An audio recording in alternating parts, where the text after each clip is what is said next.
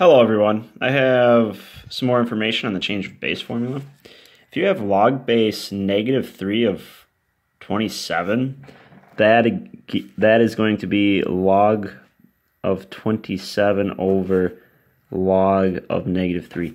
Now, this answer is going to have no solution.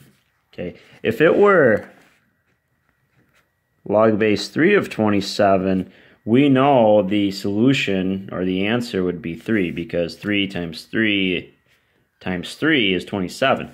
But negative 3, you cannot multiply itself by a number a certain number of times and get to 27. Okay, if you were to put it in your simple calculator, you would have a log of 27 using the change of base formula. Okay, we're going to have log of 27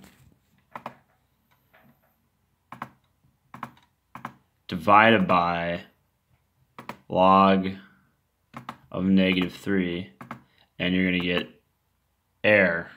Okay, no solution.